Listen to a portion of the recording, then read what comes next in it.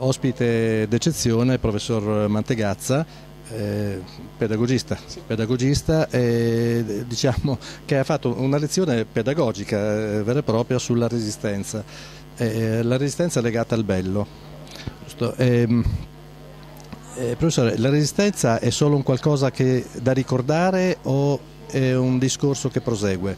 Beh, sicuramente la resistenza è qualcosa da portare avanti, anzi eh, tante persone resistono anche oggi, resistono al potere nelle sue forme peggiori, ma resistono anche quotidianamente cercando di dare un senso alla loro vita, di educare dei figli, di trasmettere dei valori importanti di, di tolleranza, di amicizia, di, di, rispetto. Quindi è una storia che continua, sta a noi cercare di cercare un collegamento tra la resistenza come fenomeno storico antifascista e queste forme di resistenza più attuali e più quotidiane. Ecco, ehm, viviamo in un'epoca abbastanza contraddittoria eh, dove eh, gli ideali della resistenza, gli ideali della democrazia sono ben chiari, ben, eh, però sembra che Qualcuno si dimentichi di applicarli, forse?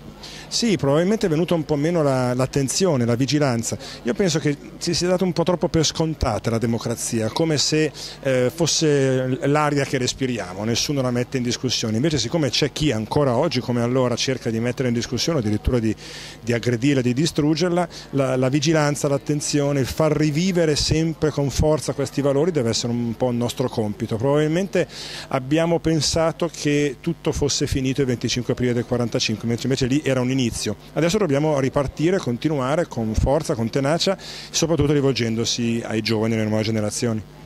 Da dove inizierebbe lei? Inizierei dalla scuola. La scuola è comunque il luogo che per fortuna è frequentato da tanti bambini e tanti ragazzi, per fortuna oggi che vengono da tante culture, il bambino che fa i compiti di fianco a un compagno albanese o una compagna senegalese vive già la potenzialità, l'importanza delle differenze, l'importanza del crescere insieme e della democrazia. La scuola può tornare ad essere quella palestra di cittadinanza che la Costituzione le chiede di essere e poi dovunque ci sia un adulto che ha responsabilità educativa, un allenatore, un catechista, un genitore, una persona che si pone davanti a un bambino per farlo crescere, nelle azioni quotidiane far vivere questa forza della democrazia, che è comunque più forte delle dittature. Questa deve essere una consapevolezza che noi abbiamo. La democrazia è più forte e come ha vinto allora può continuare a vincere. Grazie mille.